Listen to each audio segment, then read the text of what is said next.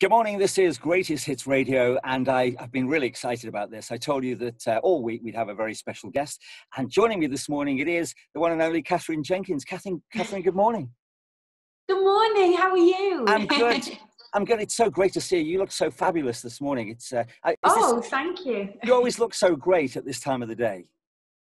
Uh, no, uh, you. I mean, I think this year has been uh, um, one of those spending most of the time in your in your tracksuit bottoms or your sweatpants and hair in a ponytail, and not really having anywhere any reason to dress up. So it's actually nice to put on a bit of a Christmas blouse and, and, and chat to you this morning. Well, everybody who's listening to this can look at this on our website later on, but I do want to thank you so much for joining us. And it's a really, really tough year for everybody, but you came up with a fantastic idea uh, in the summer. Tell me what, what this idea was and how we can enjoy it.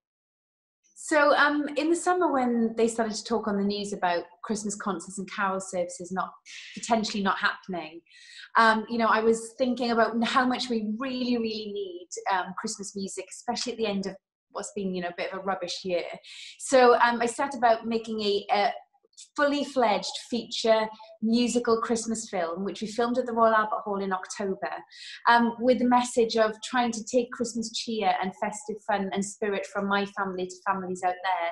So it's, you know, all of the Christmas music from traditional carols to contemporary Christmas songs with dance and acrobatics and amazing special guests and everything thrown in there. I, I call it Christmas on steroids. oh, well, it looks absolutely brilliant. Because I've seen some clips from it, and uh, you're dead right because it's one of your favourite venues anyway to perform in, isn't it?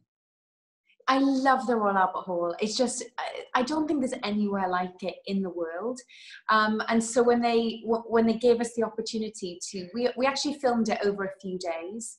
Um, and they gave us amazing access to film, you know, from the roof, which I didn't even know existed. There was a terrace on the roof of the Royal Albert Hall, to the basements and the corridors and the backstage and the boxes. I think people, when they see the Christmas Spectacular, they might think it's just a concert on the stage, but it's not. It's a story. It's uh, it's almost like a night at the museum, but it's Christmas Eve at the Royal Albert Hall, and in um, a fantasy world, me and, and the kids and my husband live there, and the hall comes to life with all of the magic of Christmas. Ah, isn't that brilliant? And I guess the concept was yours, but those songs, those iconic Christmas songs that everybody loves, and your versions are always brilliant. And uh, I suppose for you, in a way, not being able to perform live, this was the release for this year. Absolutely, and and I think through you know being a, an artist, like you know, so many of the performers out there, we've been looking of ways to still reach people and connect with people. And through the lockdowns, I've been doing these sort of Facebook concerts every Saturday night from my house.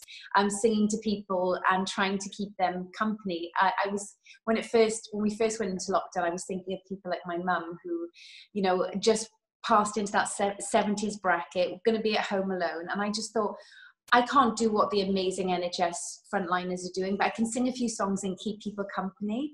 And, and so that's how it all happened. And I think through those 20 concerts over five months, I really learned the sort of, yes, it's lovely to see an audience, but how can we still do something where we realize the power of music and bringing pe- people together through music? And that's really what led me to making the Christmas Spectacular.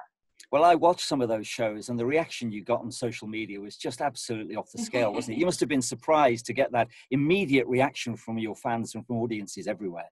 Yeah, I was so surprised. Um, I remember my husband on the first one saying, "Well, it's only about 500 people who signed up to watch," and I was like, "That's I'm all right with that. That's totally fine." Um, we when we did the last one, we passed five million views, um, which is just insane. And you know, people were watching from all around the world. Um, you know, some people were joining us on a Saturday night with a you know glass of fizz, and some people were watching us in Australia with a Sunday Sunday morning coffee. Um, and it really became a family affair because I was just singing into my iPhone, but I had my husband managing the Wi-Fi in the backing tracks, and my children crash in the back of the concerts quite regularly. But that's what made but it. It was just sweet. real life. Yeah, that's what made it good. And of course, having a husband like yours who knows exactly how to do these things, they look like Disney fairy tales. I mean, it was really magical watching this. oh, thank you. I think it was. We loved it as a family having a focus. You know, I think to have something to work towards every Saturday. Um, you know, I know people said that I was keeping them company, but I felt like they were keeping me company too. And I think, you know, we we all work together in our house to prepare for Saturday nights, and so that was a really good thing to be able to work towards something in that lockdown time.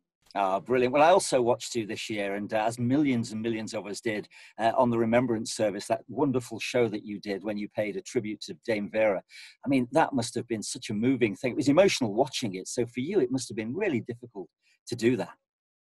Uh, you know, Dame Vera was like such a, um, an inspiration to me. Uh, she was a sort of mentor to me over the 15 years that I knew her. And I don't think they make people like Dame Vera anymore. You know, she she meant so much. Her choice of songs and the sentiments that she chose, she really knew how to give uh, an interpretation of a song with a really uplifting sentiment and a lyric that resonated with people.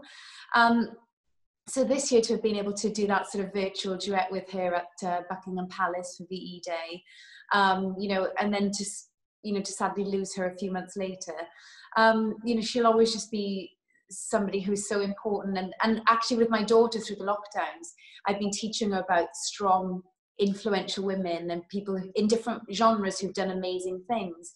And i was teaching her about dame vera. Um, so we'd actually been talking a lot about her and then obviously she passed away. But i'm in you know i'm, I'm friends with her daughter very much and, and she's an amazing she was an amazing woman Ah, no, she absolutely was. You know, you say this, and I know you're going to say, oh, don't be ridiculous, but some would say that uh, she's passed the baton on to you because you really are doing some mm. fantastic stuff for the NHS. You mentioned those shows. I mean, you've got a special screening of this particular performance, haven't you, for the NHS workers and. Yeah, patients? so um, I've, I've actually, you know, obviously we made the film, you know, for everybody um, and for people to be able to go uh, to the cinema and see it in a theatrical sense, or if they can't see it, if they don't feel like they can venture out, then you know you can download it and watch it on uh, on DVD or watch it at home. But also what I'm so, so proud of is the fact that we've been able to get this into hospitals. So there's an amazing charity called MediCinema, and they have cinemas in some hospitals, but they also have like bedside tablets for people who are in hospital. So, so we literally are being able to bring the Christmas cheer to them, and that's whether you're a patient or an outpatient or you're an NHS worker. You can go and have sort of like two hours of of relaxation and respite, and and hopefully a bit of Christmas cheer from the film. Uh, well, the bits I've seen, I promise they're going to get plenty of Christmas cheer. I know that people can see it at the cinema, they can see it on BritBox, lots of other places. I'm sure if they go online, they'll find out exactly how to watch this. They can also listen to the soundtrack because that's coming out. Yeah, soundtrack's out um, today, um, and so it's it's a it's literally the live the live soundtrack of the film, um, and it's packed with all of the Christmas music. I think it's like 17 or 18 tracks on there. Um, and it's a, it's a really um, wonderful balance of, like I said, I wanted to sing all of the Christmas music that gets me in the mood. So from the things like the carols, like Silent Night and Hark the Herald, through to White Christmas, Santa Baby, most wonderful time of the year. All of those things have just put a massive smile on my face. Well, I'm about to play a clip of many of those songs that you just talked about. Uh, Katherine, it's a pleasure for me to do this show, but it's an even bigger one to be able to talk to you now. Of course, I can't not talk about South Wales and your family. Hopefully, they're listening uh, right now yeah. to the show. Oh, I, am sure they're listening. Um, and I'm sending my love to all of the Jenkins, all, all of the Taffia, as I call them. Um, it's obviously been a really strange year, um, like for, for everyone, and I've not, I've not seen um, much of my of my family. So I'm really, really missing them, and I can't wait. Obviously, great news this week with the vaccine. I'm looking for life to go back back to normal and to be able to get down to Wales a bit more and spend spend some proper time with them. Uh, we're all looking forward to getting you back here as well. But uh, but do stay safe. Have they most have the most fantastic Christmas. I don't know whether you've got plans at home. I guess everybody's home at this Christmas.